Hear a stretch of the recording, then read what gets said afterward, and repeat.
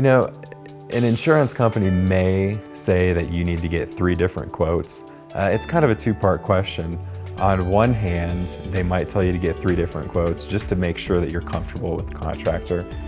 On the other hand, if you submit three competitive bids to an insurance company, nine times out of 10, they're gonna take the lowest bid and fix you at that price and, and the claim's over at that point. So in that situation, it's perfectly acceptable just to get three different opinions, but once you're comfortable, select the contractor that you're comfortable with.